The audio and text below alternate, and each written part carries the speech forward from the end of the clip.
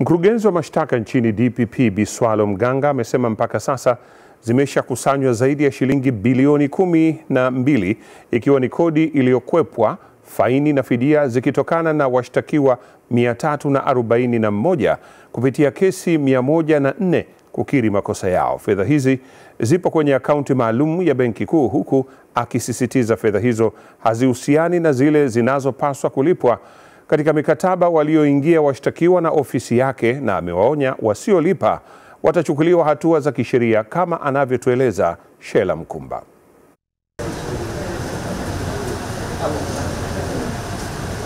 Hapa ni Benki Kuu ya Tanzania BOT ambapo DPP Maganga amekuja kukabidhi hazina mali zilizotaifishwa kutokana na makosa ya kihalifu zikiwa na thamani ya zaidi ya bilioni 32.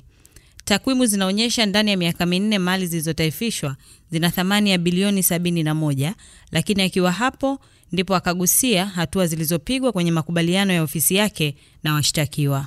Lakini hizi hazijumulishi fedha ambazo watu wao ambao wametua tena tukaingia kwenye plea bargaining wanatakiwa kurudisha, na nitumie nafasi hii kuwaomba au kuwasihi na kuwatahadharisha kwamba amri ya mahakama lazima itekelezwe. Tuliingia makubaliano kwamba watalipa hizo fedha na tukawapatia muda wa kulipa vipindi ambavyo wanatakiwa walipe. Baadhi hawajalipa. Sasa kama walipi, warudi tu kwenye ile plea agreement waliosaini na ambayo ni amri ya mahakama. Kuna kifungu ambacho kinaniruhusu kuchukua hatua nyingine ya ziada, aidha kuenforce hiyo amri ya mahakama au kurudisha baadhi ya mashtaka ambayo niliyafuta ili waingie kwenye plea agreement.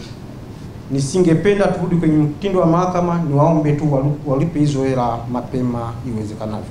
DPP Biswalo pia kwa mara ya kwanza akabainisha yeye na watendaji wake wamekuwa wakikabiliwa na vitisho mbalimbali vinavyosababisha wengine kurejea nyuma kiutendaji. Kuna watu pengine kutokana na hizi kazi tunazofanya, wengine wanarudi nyuma kwa sababu ya hizo threat ambazo wanaweza kuwa natishiwa kwamba utauawa, utafanya nini. Yote ni nchi yetu, lazima tufanye.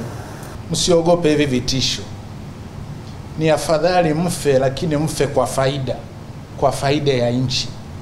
Tutawakumbuka, Tanzania itawakumbuka daima, kuliko kufa kwa kuisaliti nchi, Ana, huu ni usaliti mkubwa.